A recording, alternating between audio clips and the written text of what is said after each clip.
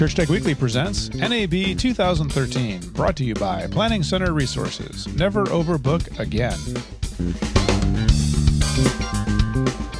All right, so we're here at NAB 2013, and we've come over to the Roland booth. And uh, Roland, as you know, has come out with all kinds of stuff over the last few years, from audio mixers to video mixers. Uh, they've come out with a cool little product, a uh, converter conversion box uh, that'll go from HDMI to SDMI and back and forth the other way. And I'm here with my friend Rob Reed to uh, tell us a little bit about these uh, cool new products. So, Rob, take it away. What do we have here? All right.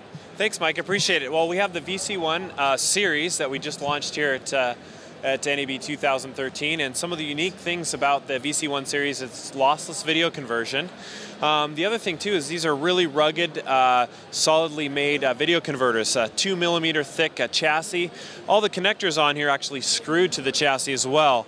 Um, so when you unconnect and connect all the time, uh, it, it really lasts for a long time. The other thing too is we support 3G uh, SDI over the SDI converters, uh, which supports level A and level B. And we've also uh, implemented HDCP support. So when you have copyrighted protected material, you can pass that through the video signal as you're converting it um, for live production.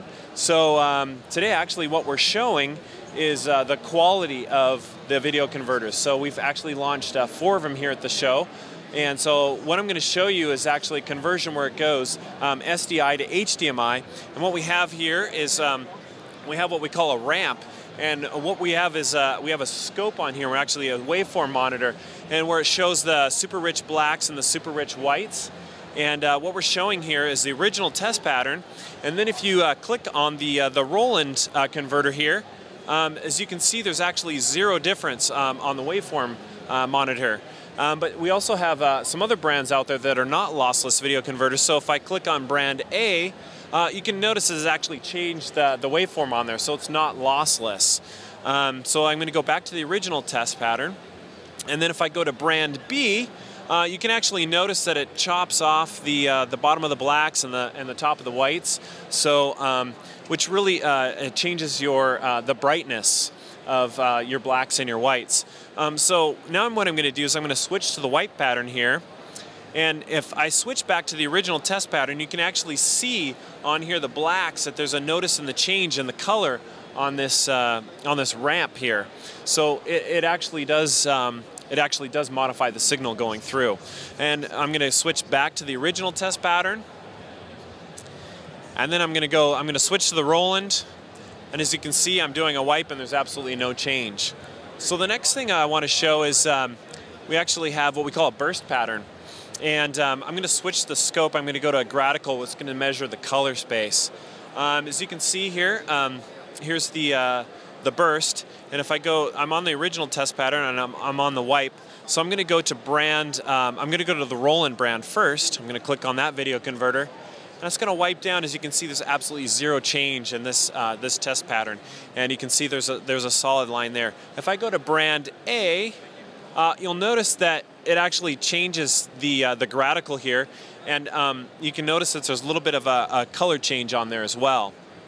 So I'm going to click on wipe, and now if I go to brand B, um, you can see that there's actually a significant change in the color space there, as well as there's a little pixel shifting on there.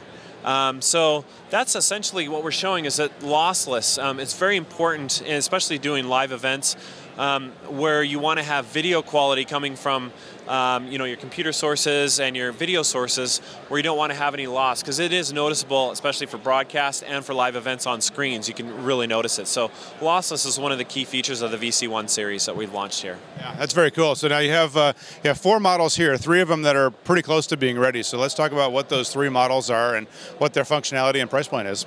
Yeah you bet. Um, the first uh, two models are uh, simple HD uh, SDI to um, HDMI conversion. And um, again, it's it's lossless. Supports 3G SDI and HDCP support. That one's 495 list price. Then the other one is uh, the VC1 uh, HS, which takes an HDMI signal and converts it to SDI. And that one's a 495 list price as well. And the last one we're really uh, highlighting here as well is the uh, VC1 uh, DL, which is a bi-directional HDMI to SDI, SDI to HDMI, with uh, frame sync and delay built into it, which is great for doing live events where maybe you have uh, more of a prosumer style camera and a professional style camera where they have a uh, uh, different frames on there, and so you want to be able to delay that before it goes into the switcher, as well as um, let's say, for example, you have a, uh, a video monitor. Um, like an LCD wall versus a projector, and they have different um, uh, delay in there, so you can actually delay the output and match up those screens yeah. on your live event. So that's one of the, the cool things. Also, on our um, on our VC1 series, you have audio embedding and de-embedding, which is great for monitoring, great for uh, web streaming and recording uh, your live events as well during the conversion process. Yeah. Very cool. And the, uh, the, the top end one, the VC1DL. Uh, the list price is 795 list price, okay. and these will be available in May.